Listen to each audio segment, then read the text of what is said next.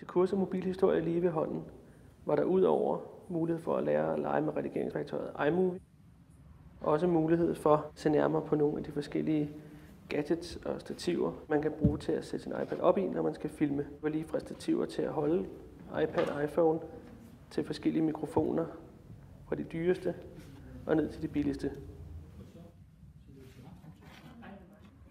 Men hvorfor lave et kursus om at lave mobilhistorie på bibliotekerne? Vi har Michael Skæris her til at fortælle os, hvorfor. Vi synes, det er et vigtigt øh, område øh, og øh, et godt arbejdsredskab for bibliotekerne fremover. Især hvis vi kigger på formidlingen, øh, og især på formidlingen på de digitale platforme og sociale medier. Øh, så vi vil gerne give vores kollegaer øh, mulighed for at blive bedre og beherske de her redskaber.